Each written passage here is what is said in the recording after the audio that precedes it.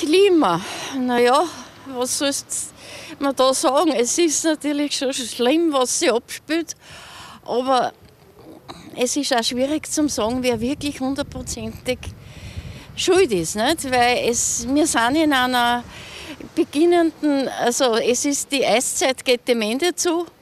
Ist natürlich schon viel mit der Umwelt, aber ich denke mir oft, wenn ein Vulkan ausbricht, was passiert da?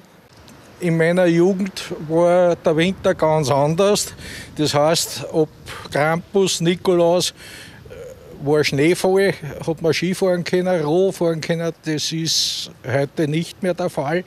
Und äh, wahrscheinlich wird sich das Wetter ändern. Ich komme aus Tirol, da hat es noch Winter gegeben. Wie es jetzt ist, gibt es dort auch keine Winter mehr. Und ich führe das schon auf die Klimaerwärmung zurück. Es wird immer wärmer, die Winter sind keine Winter mehr wie früher. Na, schaut so aus, wie wenn das wirklich stimmt mit der, mit der Klimaerwärmung. Schützen Sie das Klima und wenn, wenn ja, wie? Aha, ich gehe zu Fuß zum Beispiel.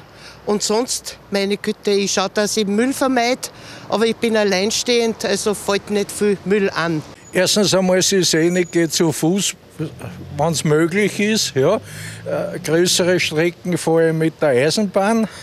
Ja. Fliegen kommt fast gar nicht in Frage bei mir. Mülltrennung sehr wohl, ist wichtig, sage ich. Ja, nur wir produzieren viel zu viel Müll. Ja, mal das Plastik, das einmal, weil es ist alles dreimal, viermal verpackt. Dann weiß ich nicht, ja, mit dem Auto fahren, so wenig wie möglich halt. Und, und ja, ich weiß nicht, was man noch sparen könnte. Das wissen nicht die, die, die Gescheitern um. ja, ich schaue halt, was ich kann. Äh, Garten und biologisch und mein Gott, mit 80 Jahren kannst du nicht mehr viel ausstellen. ja, man probiert halt so wenig wie möglich mit dem Auto fahren, Plastik sparen. Ich steige zum Beispiel wieder auf Glasflaschen um, bei den Mineralwasserflaschen. Beim Essen vielleicht auch, ja. Man probiert schon, was man kann, halt, wie es geht in seinem eigenen Bereich.